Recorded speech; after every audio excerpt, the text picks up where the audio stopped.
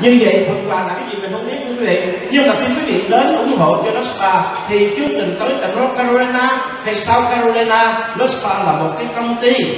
về cung cấp đầy đủ tất cả những mặt hàng cho Việt Nam cho nên bất cứ tiểu bang nào của Hoa Kỳ, bất cứ nơi nào trên toàn quốc Hoa Kỳ nationwide đều có thể yểm trợ được hết